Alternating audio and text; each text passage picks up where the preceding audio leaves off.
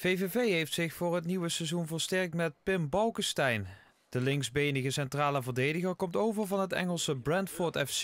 Het vertrouwen wat ze in me uitspraken en ook dat ik eh, gehaald word om een vaste waarde te zijn, dat is voor mij wel heel belangrijk. En er waren ook clubs uit een hogere divisie, maar dan is het toch, dan word je gehaald in de breedte. En ik wil echt, echt een belangrijke speler worden. En ik denk hopelijk dat ik dat ook kan bewijzen en dat ik met VVV mee kan groeien. Nou, eh, Pim is, uh, zoals ik hem ken, altijd een, iemand die, die, die vol voorop in de strijd gaat, volop in de strijd gaat, wil winnen, uh, duelkracht altijd had.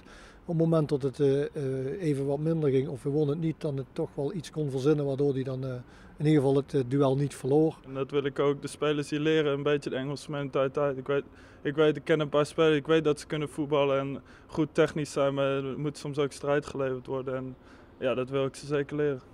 De 26-jarige Balkenstein, zoon van oud-Sparta en Feyenoord-speler Luc Balkenstein, doorliep de jeugdopleiding van SC Heerenveen, maar kwam in Friesland niet verder dan het belofte elftal.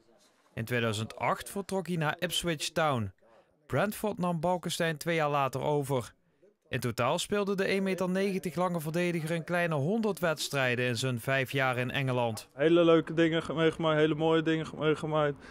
Zoals bijvoorbeeld tegen eh, Chelsea in de beker spelen. Dat zijn wel dingen die je voor altijd uh, herinnert. En, maar op een gegeven moment ga je toch ook denken, eh, ja, wat wil je verder? En ik ben erg blij dat de VVV hem heeft gebouwd.